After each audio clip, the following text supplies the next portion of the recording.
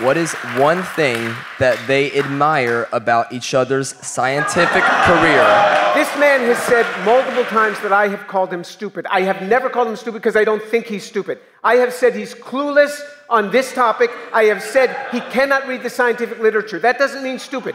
This man has become a musician and then he went out and in 2015 he started an educational site which is huge. Stupid people can't do that. He has two children. I admire that that a man can have a wife and two children and stay married and do these things these days. That is wonderful. I admire the wonderful. tenacity with which you stick to a script of lies. It's actually quite impressive.